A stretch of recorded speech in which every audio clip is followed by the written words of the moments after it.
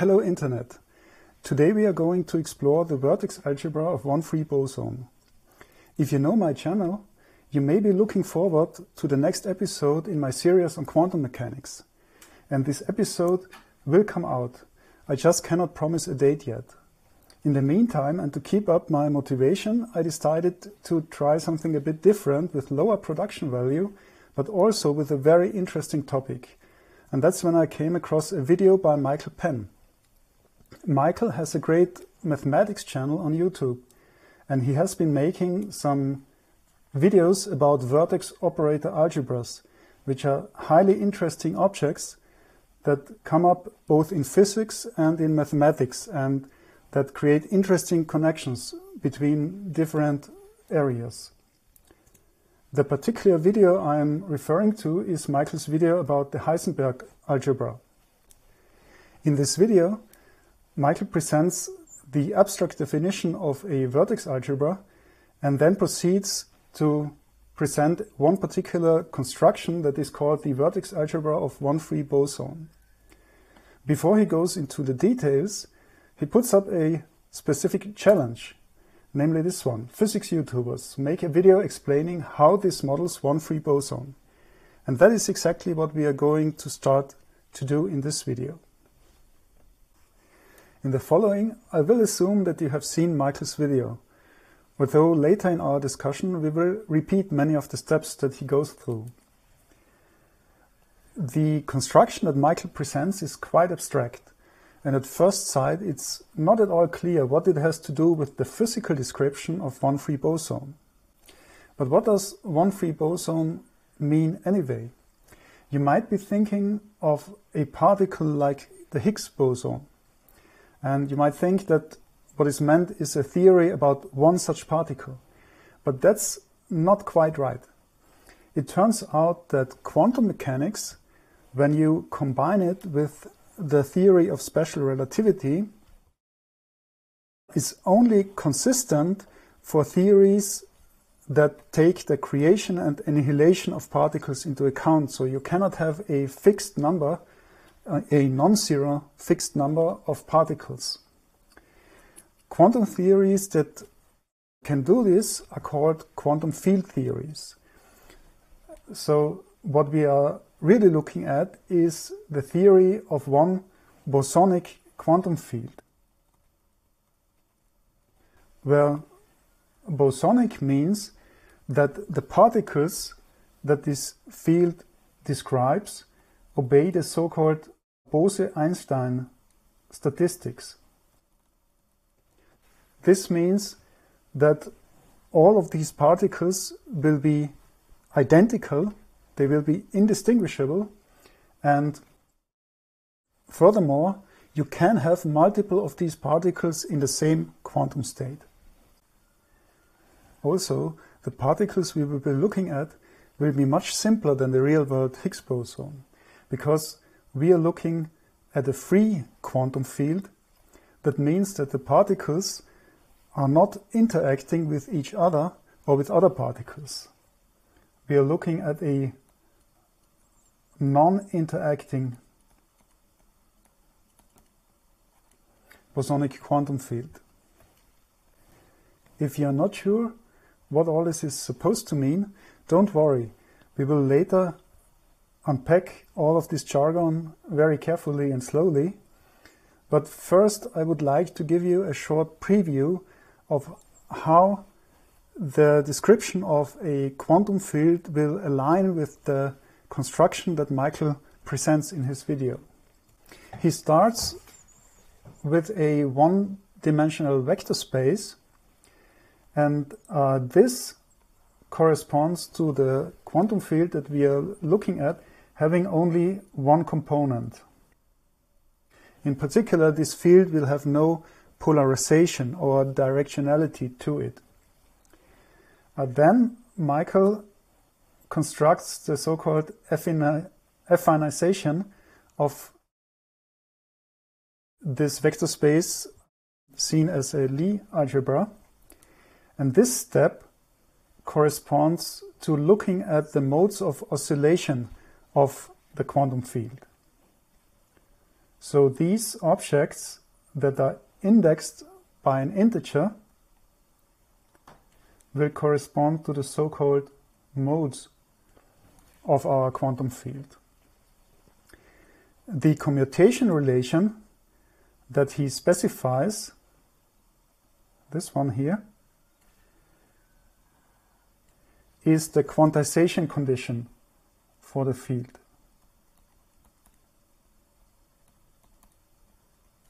So this relation is the reason for all the specific quantum behavior that we will see. Michael then proceeds with the construction by specifying a particularly simple one-dimensional representation of a part of the algebra of, of modes of the field. And this one-dimensional representation corresponds to what physi physicists call the vacuum. That is the lowest energy state of the theory, the state in which we know that there are no particles around. Starting from this vacuum, the next step in the construction builds up a vector space. Oh, this vector space is in physics known as the Fock space. Example states that Michael presents correspond to states of um, known number of particles with known momenta.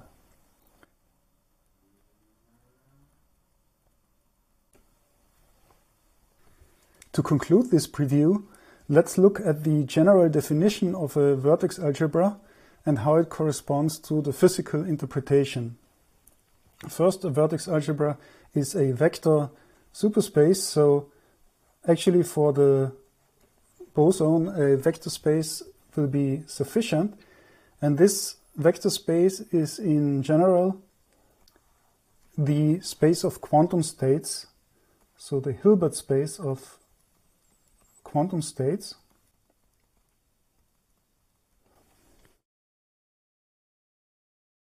Then these formal power series will correspond to the mode expansion of local operators.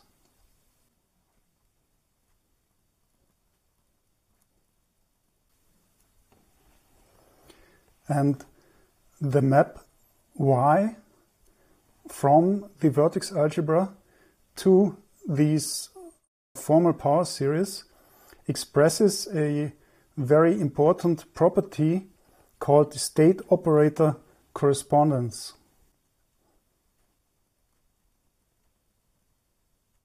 Where for every state v, we get a local operator that is given here in form of its mode expansion.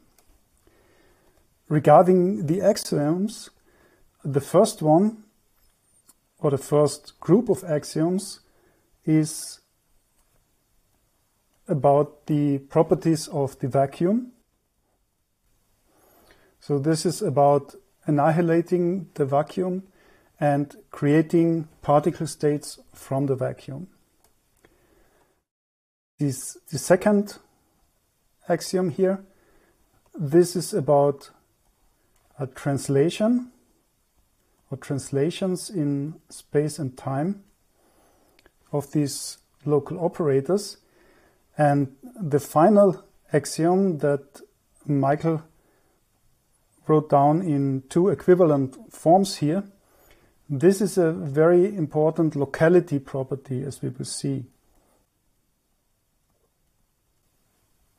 Locality refers to the fact that uh, these operators are localized in space and time in a precise sense that we will talk about.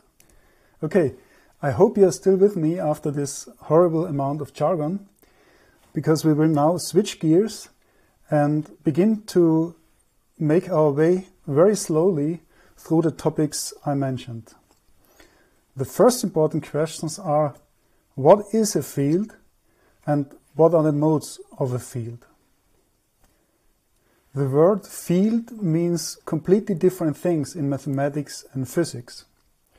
In physics, a field is a quantity that can in principle be observed at every point in space, at every point in time.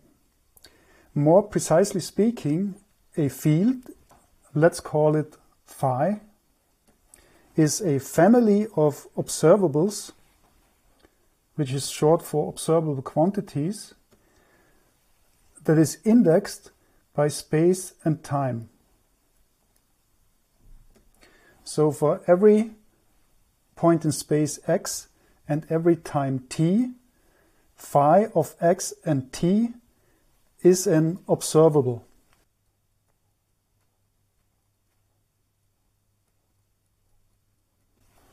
To give you an example of a field, you can think of the electric field.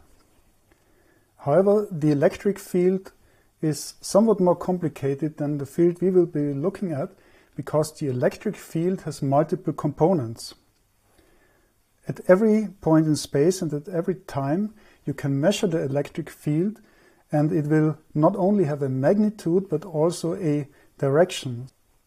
So in three-dimensional space, for example, you would have three components of the electric field at any particular point at any particular time. We could call them E1, E2 and E3 of x and t.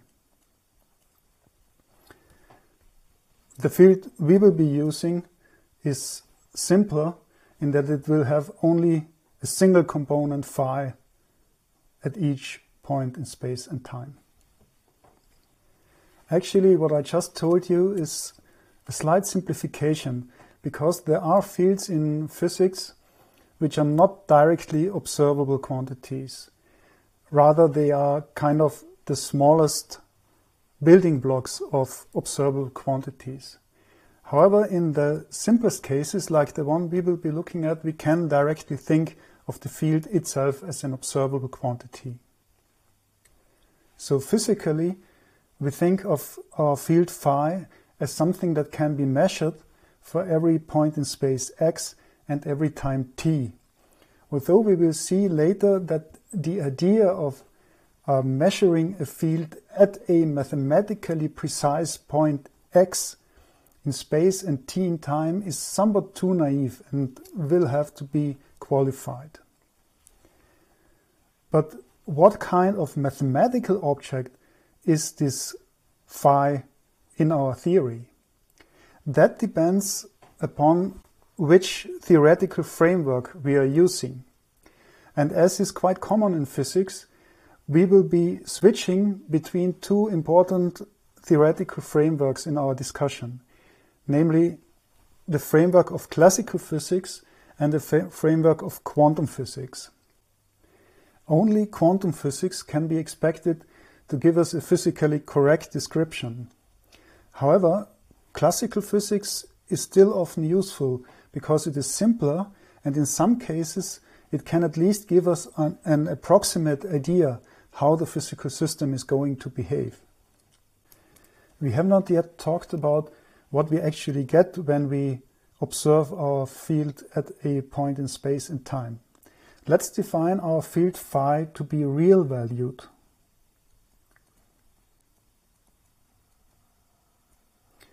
That means whenever we measure phi at x and t, we get a particular real number as the result. In order to build a mathematical model, we will also need a precise way to specify points in space and time.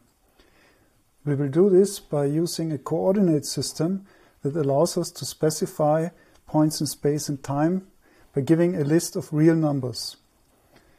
We will express time as a single real number.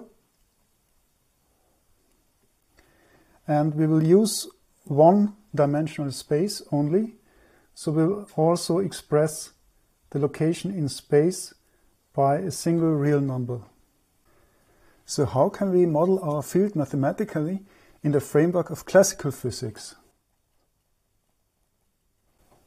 Classical physics is built on the assumption that we can in principle know all observables simultaneously. This means that if we know everything, phi for each point x t would just be a specific real number. This is the case for all xt in R cross R, which is our spacetime manifold. In other words, phi is just a function from space and time to the real numbers, mapping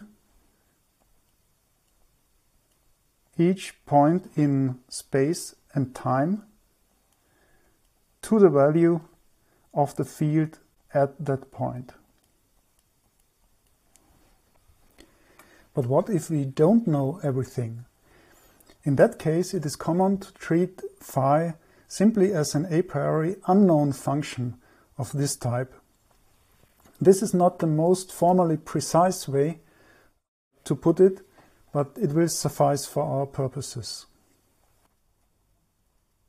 The mathematical description of our field in the framework of quantum mechanics is an entirely different story, and we will talk about that later.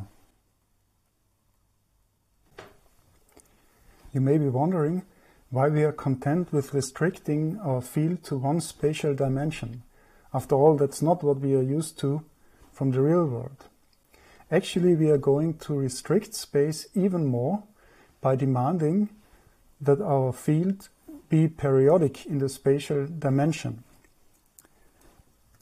To state this precisely, we will fix a constant L positive and demand that phi of x plus L at a time t be equal to phi at x and t for all x in the real numbers. When we look at a space-time diagram, this demand is essentially equivalent to identifying, for example, this line here at x equals 0 with a line at x equals L. So that the points in space-time here are actually the same as these points. And overall, this identification is the same as wrapping our space dimension along a compact circle. So the topology of our spacetime will look like the following.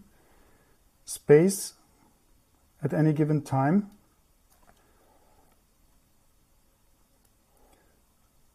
will look like a compact, compact circle of circumference L. Time is unchanged, so it is still has still infinite extent. So our whole overall space-time will look like an infinite cylinder stretching in the time direction. Why might we want to do such a strange thing?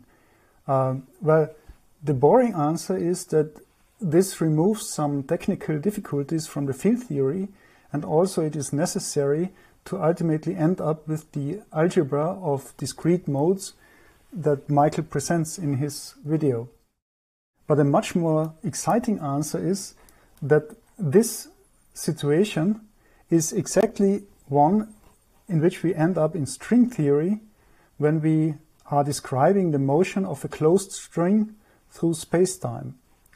In that case, you can imagine this cylinder as the so-called worldsheet of a string that the string is swiping out uh, while it is moving through uh, space and time.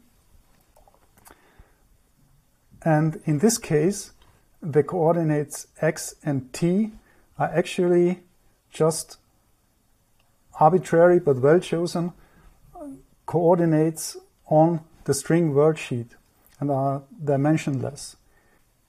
A further discussion of string theory would go beyond the scope of uh, the, this video. But if you want to learn more about it, please tell me in the comments and maybe we can um, make videos about that too. Anyway, for the purpose of this discussion, I will continue to call x the space coordinate and t the time coordinate.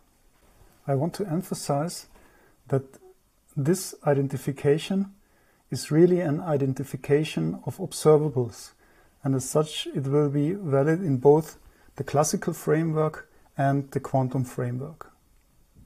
We are now done with the kinematics of our theory. That is, we have defined the independent degrees of freedom in terms of observables. And we could immediately proceed to look at the modes of the field and how they are defined. However, in order to better motivate why we would want to look at individual modes of oscillation of our field, let's first take a look at the dynamics of our theory. That is, how field configurations are going to change with time. We will specify the dynamics of our field by giving it so-called action.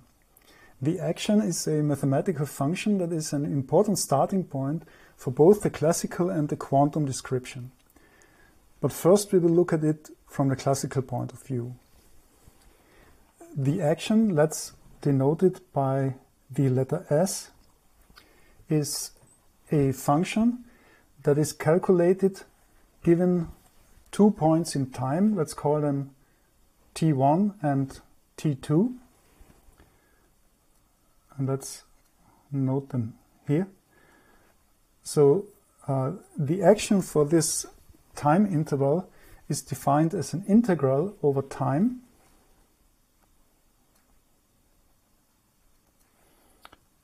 going from t1 to t2 of another function, namely the so-called Lagrangian function, which is denoted by L. And as is usual in the physics literature, I will write the measures of integrals close to the integral sign, and also I will usually omit all the arguments from functions because otherwise the notation quickly becomes unwieldy.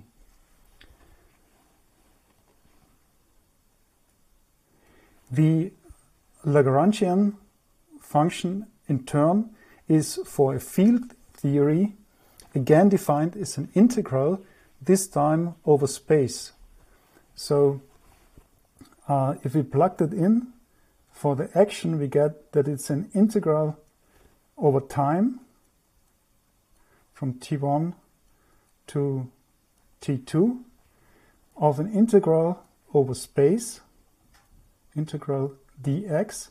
And this is understood to go over the full spatial dimension, which in our case is compact. So we don't get a problem integrating over the circle because it has a well-defined circumference L. Um, and what is the integrand? This is uh, a function that is denoted by script L and is called the Lagrangian density of the theory. Postulating a certain Lagrangian density is a very compact way to specify the dynamics of a field theory. And even for complicated field theories like the standard model of particle physics that describes all the known particles in our universe, this Lagrangian density can be made to fit on a t-shirt in compact notation for um, a classical field theory, the Lagrangian density completely defines the field theory, while for a quantum field theory, there's a little bit more work that you have to uh, do to make the theory well defined. So what is the Lagrangian density in the case of our free boson? It is indeed very simple. The Lagrangian density is T over 2 times first partial derivative of phi with respect to time squared minus the first partial derivative of phi with respect to space squared, where t is a constant that is included for the full expression to make dimensional sense. I should note that from now on we will be using so-called natural units. That is, we will choose our units of measurements such that the physical constants h bar and which is the reduced uh, Planck's quantum of action and c which is the vacuum speed of light will both be dimensionless quantities equal to 1. And in these natural units, this is the Lagrangian density of our free boson, where T is a constant, the dimensions of which depend on the context in which we are specifying our theory. So if we view it as a standalone quantum field theory, T is dimensionless and will usually be set to 1. In the context of string theory, T has dimensions of length to the negative second power and is called a string tension in string theory. So how do these definitions fix the dynamics of our field in the classical framework? They do it by the so-called principle of stationary action.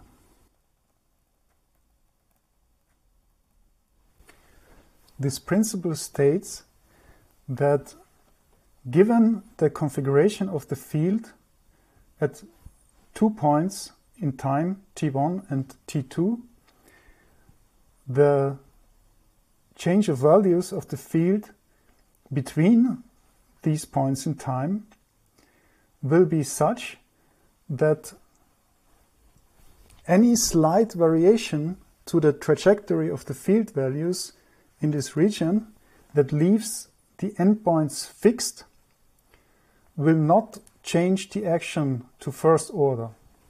So this is often written by delta S equals zero. Delta S is called the variation of the action and it is the first order change of this action integral as the values of the field phi over time are varied. And this vanishing of the variation of the action is only postulated for variations that leave the field configurations at the endpoints in time t1 and t2 fixed. So we should state that delta S is zero for variations of phi such that phi x at time 1 is equal to a fixed given function phi 1 of x for all x and phi at x at time 2 is equal to another given function phi 2 of x for all x. Unfortunately, we don't have the time right now to go deeper into this very strange but also very powerful principle. And we will just use standard techniques in the following uh, that you can look up in textbooks on classical field theory for deriving the equations of motion of our field from this Lagrangian density. The standard techniques say that you get the equation of motion as follows, namely the time derivative of the partial derivative of the Lagrangian density with respect to the time derivative of the field plus the spatial derivative of the partial derivative of the Lagrangian with respect to the spatial derivative of the field is equal to the partial derivative of the Lagrangian with respect to the field. This strange notation simply means that the partial derivatives of phi with respect to t and with respect to x are simply treated as variables here on which the Lagrangian density is allowed to depend. It also is allowed to depend on the field value directly, which, as you notice, it doesn't do in our particular case. If you want to look this equation up, it is called the Euler-Lagrange equation. So let's plug our specific Lagrangian for the free boson into the generic Euler-Lagrange equation to get the equations of motion for the free boson. So here we have the time derivative of the partial derivative of the Lagrangian with respect to dphi by dt. We see here dphi by dt appears as the square. So we just uh, use the normal rules of differentiation to get that this is this derivative here is t over 2 times 2 times from the exponent uh, and dphi by dt. Okay, that's this part here plus the spatial derivative of this thing. So this is the derivative of this function with respect to uh, this here regarded as a independent variable. In this case we get minus from here, minus t over 2 partial of phi with respect to x equals the derivative of the Lagrangian with respect to the field value itself, which is zero in our case because our Lagrangian density does not depend directly on the field value. Okay, so um, I forgot the 2 here. We can actually cancel these twos. We can divide the whole equation by the constant, non-zero constant t.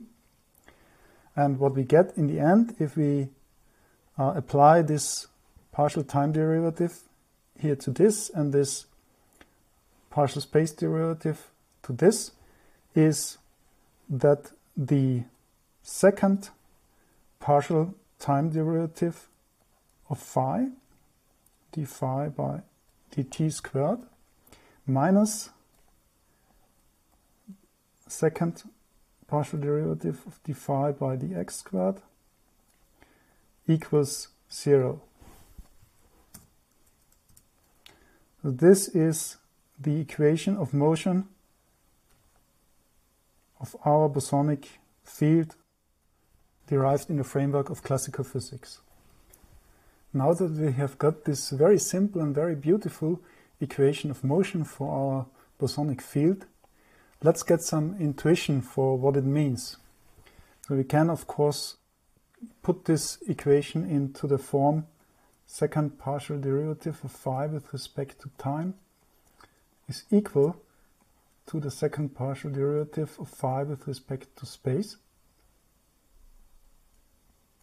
And this is valid for all x and t in our space-time r cross r. So let's think about what this means for some example field configuration that I have drawn here. So in this case, we have space on the horizontal axis and now we have not time, but we have the field value as the vertical axis for this graph. And for example, if we look at a section like this, that is kind of bent downwards. So here the second derivative with respect to x will be negative and therefore also the second derivative respe with respect to time will be negative. So here we will have that the second time derivative is negative. In contrast here, where the graph is bent upwards like this, we will have the second derivative with respect to time being positive and so on. So here it's also negative, actually more strongly negative than here because it's bent more strongly. Uh, and if you think about what the second derivative with, with respect to time means, it is kind of an acceleration of the field value with time. So how the rate of change of the field value with time will change with time. And this means that here in this section, where we have this kind of wave crest, uh, the acceleration will be negative, so it will go downwards to more negative field values, also here. And in this section, the field will accelerate um, upwards towards higher phi values. And this is really exactly how we intuitively uh, expect a, kind of rubber band or, or spring to behave, uh, that it is accelerated downwards when the neighboring pieces of the string, so to speak, pull it downward and vice versa. Such considerations lead us to expect that field configurations which have particularly simple second spatial derivatives like such a sine wave will have also particularly simple behavior in time. And that is ex exactly the idea behind the mode expansion of a field that we will look at next. We will be expressing the field in terms of sine and cosine functions, and we will find that these contributions of sines and cosines have particularly simple behavior with time. Okay, let's continue with this in the next part. If you have any questions so far, please put them in the comments below so I can answer them. If you like this video, please comment and subscribe. And if you want to see more of this kind of videos in the future, consider supporting me on Subscribestar. You can find all the links in the description below. See you next time.